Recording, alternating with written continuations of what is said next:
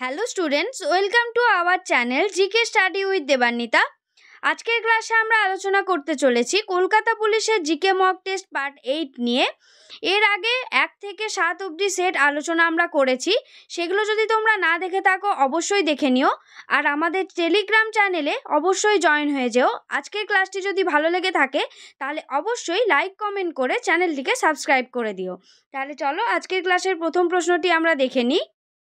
গান্ধী সাগর অভয়ারণ্য কোন রাজ্যে অবস্থিত? মধ্যপ্রদেশ, বিহার, ঝাড়খণ্ড, উত্তরাখণ্ড। উত্তর হবে গান্ধী সাগর অভয়ারণ্যটি অবস্থিত মধ্যপ্রদেশে। নেক্সট প্রশ্ন, লোকহিতবাদী কার ছদ্মনাম? লালা লাজপত রায়, সত্যনারায়ণ আপ্তে, মদনমোহন মালব্য, গোপাল হরি দেশমুখ।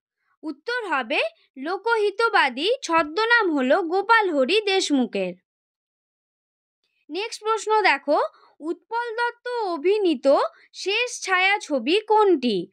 অমানুষ, আনন্দ আশ্রম, অন্যায় অবিচার, আগন্তুক। উত্তর হবে উৎপল দত্ত অভিনীত শেষ ছায়াছবির নাম হলো আগন্তুক। সুপার সাইক্লোন আমফানের নামকরণ করেছে থাইল্যান্ড। আমফান শব্দের অর্থ কি? ঝড়, বৃষ্টি, আকাশ, বায়ু। তাহলে উত্তর হবে আমফান শব্দের অর্থ হলো আকাশ। পরের প্রশ্ন তারিকির ফিরোজশাহী গ্রন্থের রচয়িতা কে? উত্তর হবে তারিকি ফিরোজশাহী গ্রন্থের রচয়িতা হলেন জিয়াসুদ্দিন বরণী। পরের প্রশ্ন দেখো, রিকেট রোগের প্রভাব শরীরের কোন অঙ্গে পড়ে? অগ্নাশয়, হাড়ে, মস্তিষ্কে, গলায়। তাহলে উত্তর হবে রিকেট রোগের প্রভাব পড়ে হাড়ে। নেক্সট প্রশ্ন, অজন্তা ও ইলোরার গুহাচিত্রগুলি কোন রাজবংশের আমলে অঙ্কিত হয়েছিল? মৌর্য যুগে, গুপ্ত যুগে, কুষাণ যুগে, পাল যুগে। তাহলে উত্তর হবে অজন্তা এবং ইলোরার গুহাচিত্রগুলি গুপ্ত যুগে অঙ্কিত হয়েছিল। পরের প্রশ্ন দেখো, ভারতের দ্রষ্টব্য চারমিনার কোথায় অবস্থিত? এলাহাবাদ, ঔরঙ্গাবাদ, হায়দ্রাবাদ, নতুন দিল্লি। উত্তর হবে ভারতের দ্রষ্টব্য চারমিনার অবস্থিত হায়দ্রাবাদে। সিজদা ও পাইবস প্রথার প্রবর্তক কে? আলাউদ্দিন খিলজি গিয়াসুদ্দিন বলবন, মোহাম্মদ বিন তুগলক, আরাম শাহ তাহলে উত্তর হবে সিজদা এবং প্রাইবস প্রথার প্রবর্তক হলেন গিয়াসুদ্দিন বলবন।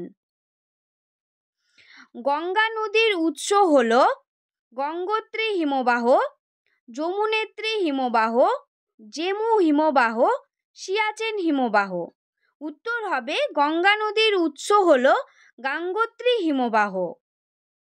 নেক্সট প্রশ্ন দেখো, হজযাত্রার প্রবর্তন প্রথম কে করেন? আকবর, ফিরোজ শাহ তুঘলক, আলাউদ্দিন খিলজি, বাবর। তাহলে উত্তর হবে হজযাত্রার প্রবর্তন প্রথম করেন আকবর।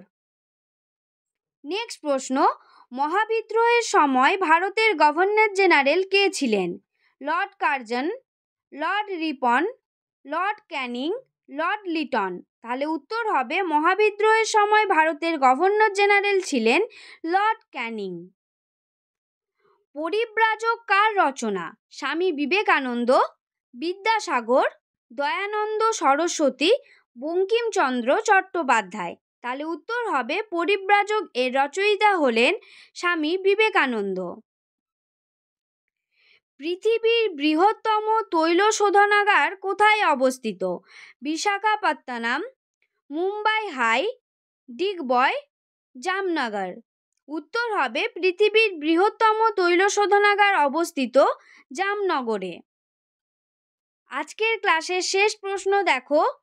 ওয়াটারলু যুদ্ধ কত সালে সংগঠিত হয়? আঠেরোশো পনেরো, আঠেরোশো পঁচিশ, আঠেরোশো দশ, আঠেরোশো কুড়ি। তাহলে উত্তর হবে ওয়াটারলুর যুদ্ধ সংঘটিত হয় আঠেরোশো পনেরো খ্রিস্টাব্দে।